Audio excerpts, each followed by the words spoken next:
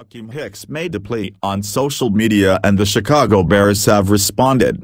Hicks suggested the Bears should go back to their orange jerseys, a look they rocked in the mid-2000s, and apparently, the team is set to go back to that look during the 2018 season. While speaking at the NFL owners' meetings in Orlando on Tuesday, Bears chairman George McCaskey confirmed the team's alternate jersey for the 2018 season will be orange, a stark contrast from the monsters of the Midway throwback jerseys they have been wearing in recent years. Chicago originally wore an orange jersey with navy pants beginning in the 1930s. Previous to that season it had worn navy jerseys with vertical orange stripes. In 1932 the team began putting numbers on the front of the jersey and transitioned to an orange jersey with navy numbers trimmed in white with black stripes on the arm. The team wore the jersey sporadically throughout that decade and, according to ChicagoBears.com, the jersey was so loud that stories are told about crowds in New York booing the jersey.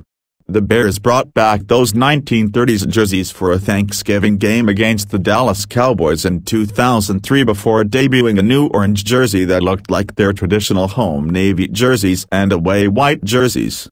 The team wore those orange jerseys a handful of times throughout the mid-2000s before the NFL made the switch from Reeboks to Nike.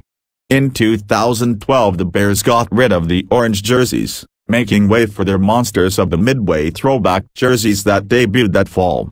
Since that season the team has worn those throwbacks in two games a season. The interesting part of McCaskey's wording, saying orange will be the alternate, means Chicago will likely do away with the Monsters of the Midway jerseys completely. There has been speculation over the years for the Bears to wear all orange for one of the NFL's Color Rush games, and now that they are set to wear orange as an alternate, there is a strong chance the team could go all orange in a Color Rush game this season. The team has traditionally worn either navy pants or white pants throughout their history.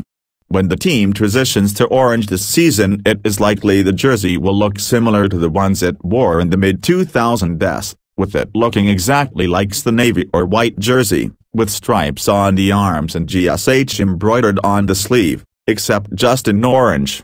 Want to keep up with the Bears during the hectic off-season?